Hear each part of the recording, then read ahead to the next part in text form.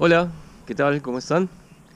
Pues nos encontramos en Ville de Coulumiers, en un lugar muy bonito, aquí en París, Francia. Y pues esta es una pista semiolímpica, como ustedes pueden ver. Y vamos a correr. Eh, estamos de vacaciones, pero igual hay que seguir haciendo deporte, ¿verdad? Tenemos que movernos. Empezamos en un momentito. Acompáñenme. Vamos a correr. Siempre en movimiento, ¿verdad?